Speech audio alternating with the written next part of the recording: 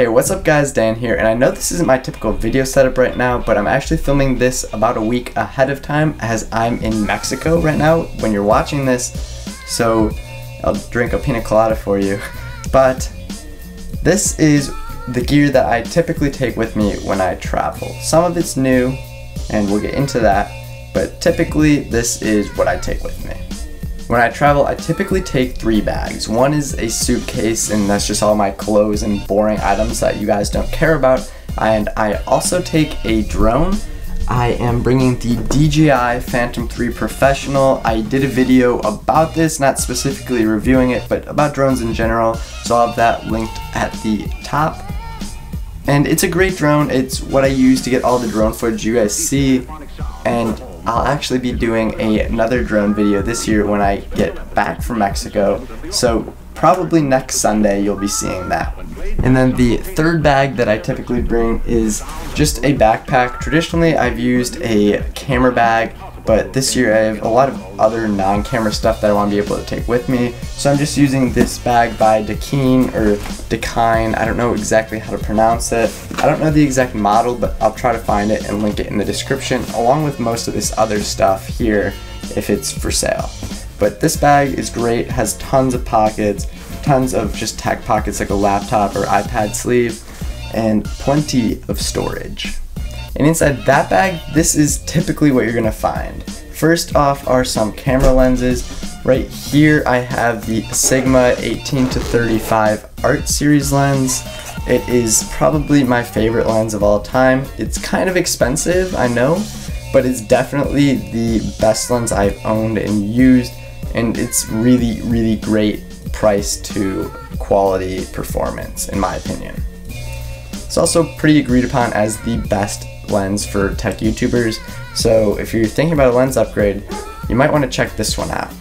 The next lens I have is actually the one that I'm filming this video on right now. It's the Rokinon 14mm, just a nice wide angle lens that I put on a stabilizer to get some pretty cool shots and you'll see those in the travel video hopefully next Sunday as I said. And then just a little bit wider, I'm not bringing too many lenses this year. The third lens I'm bringing is just the Nifty 50 Canon 1.8. I love this lens, it's only about $110 and you really can't go wrong with it. Now going off of the camera lenses, there's a camera body. You can't see it right now because I'm recording on it, but my camera of choice is the Canon EOS 70D. It's a great camera. I've had it for about a year and a half now, and I love it, and I don't plan on upgrading anytime soon.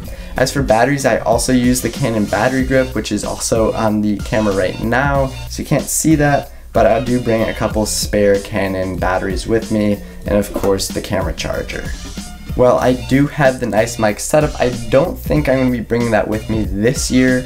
Instead, I'm just going to be bringing the Rode Video Micro. I actually did a video on this last week explaining how to fix it if it breaks because mine broke and I know a lot of other people's broke. So if yours is broken, go watch that video. But I bring this little guy, it's just nice, pops on a hot shoe, and you basically forget it's there. It's super tiny. And then of course the dead cat for that as well. And then right in front of me right here, I actually have the Apple Pencil, which has a slick wrap to look like a pencil on it. And then I have the iPad Pro 9.7 inch. I don't bring a laptop because I don't have one right now. I just bring the iPad, use it for media consumption, which is limited with the limited internet out there in Mexico.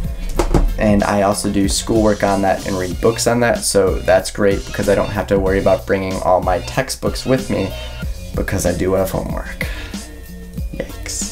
Also on this side of the table, I have a white balance card. I don't use this too, too much, but it's nice just like at night because a lot of their lighting isn't the normal daylight bulbs that I use in my room for lighting videos. It's nice to just nail the white balance and not have to worry. And I also bring the Joby GorillaPod DSLR, or I think that's the name of this model. I'm not exactly sure. I'll have this one linked in the description. Either way, Casey Neistat uses this. I've had it for a long time. It's just a flexible travel tripod that takes up little to no room in your bag, but you can still have stable shots and also it lets you wrap the legs around something if you want to do time lapses or if I decide to do any vlog footage at all I put the camera on this hold it out and speak to the camera continuing over to my left, we have a new item I picked up this year. This is a iMorden S60C Steadicam, I believe the model number is, and it's just a Steadicam. I really want a DJI Ronin, but they're far too expensive for me to even consider buying one right now. Just doesn't make sense. This guy is nice and cheap, and I'm really excited to try this and see how the stabilization of this compares to something like the Ronin, which I have used. This also is made of carbon fiber, so it's light, but Steadicams are deceptively light. Like, I thought this was going to be much lighter than it is, and with the camera and everything on it, it's definitely a deltoid workout, so I'm going to come back and I'm going to be absolutely jacked. Get the beach bod at the beach. It wouldn't be a vacation without some sun, so these are the Snap Spectacles. I did a video on these, so you can click the I if you want to learn more about these. But basically, they're $130. They connect with Snapchat, and I'm to be able to just get some nice little footage of the beach and poolside activities without having to worry about bringing my big camera along or pulling out my phone. They're also not waterproof, so I really hope they don't end up in the pool or in the ocean. Of course, with the drone and the cameras and everything, there's a lot of storage space, so I have some SD cards, of course, and micro SD cards for the drone. My SD cards of choice are the SanDisk Extreme Pro. Nothing special, I just have a lot of them laying around. I love them, and they haven't failed me yet. So there's a little bit of brand loyalty there. Of course, we're flying to Mexico, so I need some headphones. These are the AudioQuest Night Owls, the Night Owl Carbon. I did a video on these. They're really expensive. They're $700 headphones. So I'm excited that I get to listen to these on the plane rather than some crappy $50 headphones. But of course, I can't just be walking around with these all the time. I'd look like a fool. So for that, I mean, I'm still a sucker for cheap audio and Apple, so you can't go wrong with the AirPods. I mean, earpods, not the AirPods, these are the wired ones. Either way, cheap, reliable, they're always there, and they work.